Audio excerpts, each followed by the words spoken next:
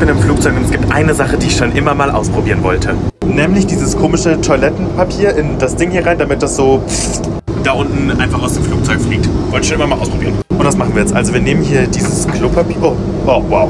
Okay, wir nehmen uns hier einfach super viel Klopapier. Dann müssen wir das hier da reinlegen.